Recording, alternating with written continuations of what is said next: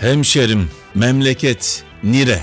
Barış abimiz söylemişti bu şarkıyı. Rahmetle, saygıyla, duayla anıyoruz. Hemşerim, memleket, nire. Bu dünya benim memleket. Şimdi Samanyolu galaksisinde trilyonlarca yıldız var. Her yıldızın etrafında gezegenler var ve uzmanlar, bilim adamları matematiğe dayanarak, hesaplara dayanarak sadece bizim galaksimizde 100 bin civarında bizim gibi gezegenler olduğu tahmin ediliyor. Yaşam olan Bunlar neden iletişim kuramıyorlar? Uzaklıklar o kadar fazla ki iletişim kurmak gerçekten çok zor. Çünkü gökyüzüne baktığımızda milyonlarca yıl önceyi görüyoruz. Tabii. Işık hızıyla o yıldızların ışığı bize geliyor. Bir de tabii galaksiler var. Trilyonlarca galaksi evrende. Bütün bu galaksileri, bütün bu gezegenleri düşündüğümüzde trilyonlarca yaşam olan gezegen, zeki olan varlıkların olduğu uygarlıklar var. Şimdi nereye geleceğim? Bir yere geleceğim. Bütün bu evreni yaratan, evrenin hakimi kim?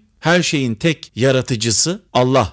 Hepsini Yüce Mevlam yarattı. Buna inanıyoruz hepimiz. E buna kim inanıyor? Hristiyanlar buna inanıyor, Müslümanlar buna inanıyor, Yahudiler buna inanıyor. Tek Tanrı'ya inanan, tek Allah'a inanan herkes buna inanıyor. Şöyle bir düşün. Ne zaman hemşerim memleket nere sorusunun cevabını bu dünya bizim memleket diyeceğiz sence? Şimdi ölüyoruz. Değil mi? Hepimiz öleceğiz. Sonunda bizden öncekiler öldüğü gibi. Ölüyoruz ve öteki dünyaya gidiyoruz. Öteki dünyada o trilyonlarca gezegende yaşayan varlıklar da ölmüşler. Onlarla karşılaşıyoruz. Değil mi? Andromeda e, galaksisi, Samanyolu galaksisi, sen hangi yıldız sistemi, ben güneş sisteminden falan anladın mı? Konuşuyoruz böyle karşılaşıyoruz onlarla ruh aleminde. Oradan birisi başka galaksiden birisi veya bizim galaksinin başka bir yıldız sisteminden, başka bir güneş sisteminden birisi soruyor. Hemşerim memleket nere diyor. O da diyor ki bu dünya var ya bu güneş sisteminin etrafında dönen Samanyolu galaksindeki işte o dünya benim memleket. Biz ancak öldüğümüz zaman bu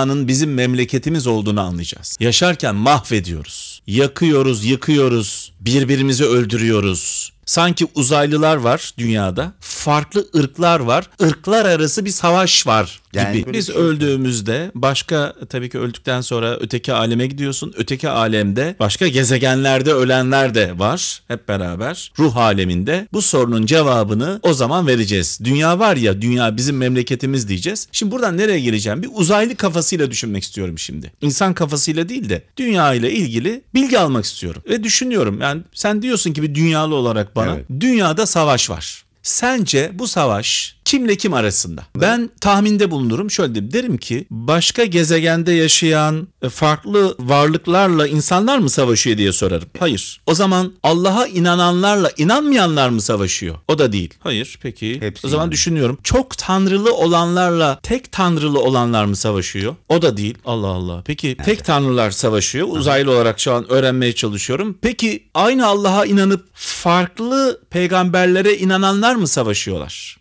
Gibi. Ama genel olarak aynı peygambere inanıp farklı mezhepte olanlar savaşır genelde dünyada.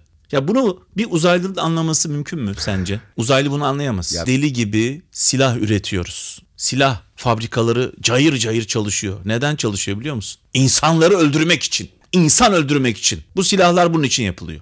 Dünyada şu anda silaha, savaşa harcanan paralar onda biriyle dünyada bir tane aç insan kalmaz. Hepimiz deli gibi birbirimizi öldürmek için sanki uzaylılar dünyayı istila etmiş, hep beraber toplanmışız. Evet, dünyamızı onlardan kurtarmaya çalışıyoruz. Bu savaşı bak bunu kabul ederim. Başka gezegenden buraya birileri gelmiş olsa, dünyamızı istila etmek için gelmiş olsa derim ki bunlarla savaşalım. Silahlar yapalım, teknolojimizi geliştirelim. Ya biz kimle savaşıyoruz Allah aşkına ya? İnsanlar insanları öldürüyor. Aynı dine mensup insanlar din kardeşlerini öldürüyor. Aynı Allah'a inanan insanlar birbirlerini katlediyorlar. Hemşerim, memleket nire? Ölünce, Benim öbür dünyaya gidince başka gezegenlerde yaşayan varlıklarla karşılaştığımızda o zaman bu dünya benim memleket diyeceğiz. Ama iş işten geçmiş olacak.